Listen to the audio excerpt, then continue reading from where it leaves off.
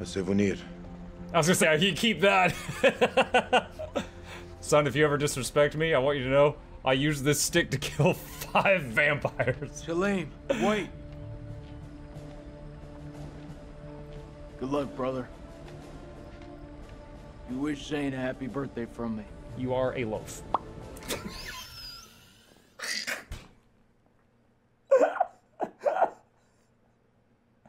that was that was the most well-timed one tonight. oh my god.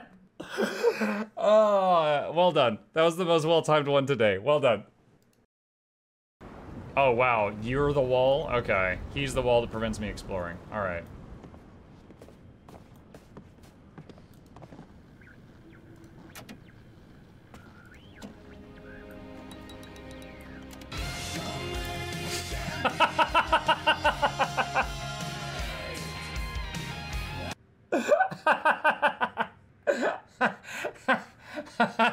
Uh, for, for anyone who's out of the loop right now, uh, that was a sound effect from someone in chat. Uh, and I thought I was the radio station for a second. But I've been putting in a lot of TLC. Okay. Okay. Okay. Let me get this set up.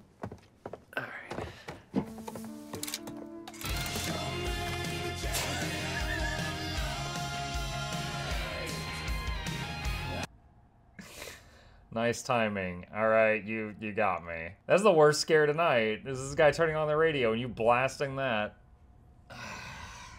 Very good. Very good.